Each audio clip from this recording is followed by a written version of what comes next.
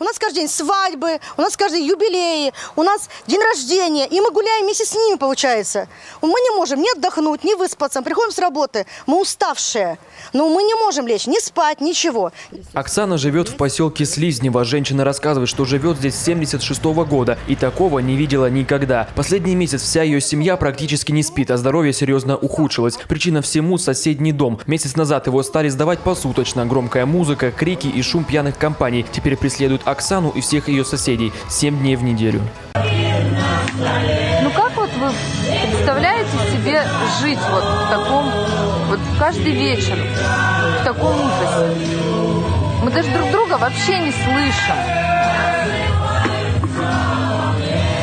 Жители дома рассказывают, что устали не только от громкой музыки и криков, но и от проезжающих мимо машин. Понятно, алкоголь делает свое дело, и поэтому скоростной режим здесь практически никто не соблюдает. Поэтому местные жители и решили установить здесь вот такого импровизированного лежачего полицейского. Оксана говорит, что вдобавок к гулу от машин и музыки весь дым от любителей шашлыков тянет им в дом. По словам женщины, если оставить окна открытыми на ночь, то проснуться можно уже в коптильне. Дышать в таких условиях практически невозможно. Однако накануне очередные арендаторы пошли дальше и устроили салют.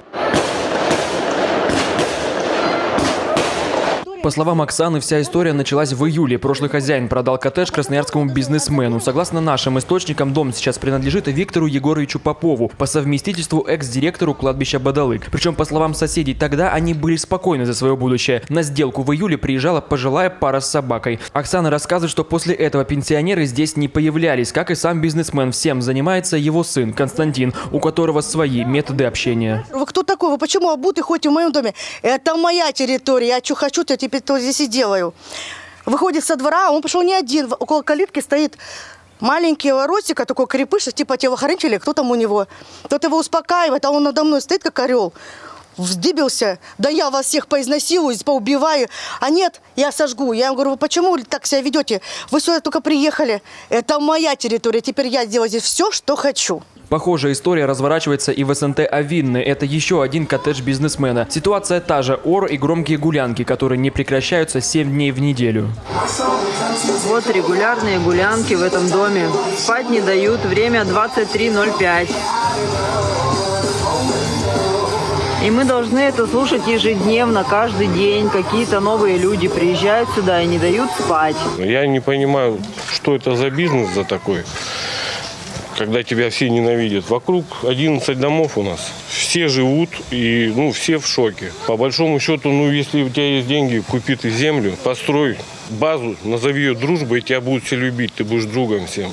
А здесь тебя все ненавидят. Я вот этого не понимаю. Не только в выходные дни это происходит, это и в рабочие дни, когда людям на работу невозможно не открыть ни окно. Э, Это происходит до 4, до 6 часов утра, но э, ведут они себя настолько безобразно, что выбрасывают остатки пищи соседям на участки.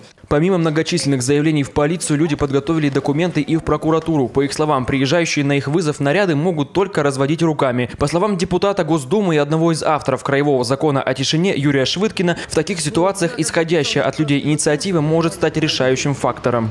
Пункт функционирует. Насколько успешно, здесь зависит от многих факторов. Непосредственно как от самих жителей, которые должны обратиться в соответствующие органы, в данном случае в административную комиссию или органы внутренних дел, которые также должны принимать соответствующие меры, но и, безусловно, своевременная реакция. Ну, для этого есть соответствующий собор доказательной базы, те же свидетели сбор, значит, э, собрать показания свидетелей, да, значит, поэтому здесь, э, в принципе, безусловно, есть некоторые трудности, да, но они, в принципе, все отрегулированы. Помимо заявлений в прокуратуру и полицию, люди готовы идти и в налоговую. За неделю на одном таком доме можно заработать почти 200 тысяч рублей. Местные жители не уверены, что хотя бы часть из этих денег уходит в бюджет. Дмитрий Шхузин, Алена Безуглова, Сергей Токарев. Новости ТВК.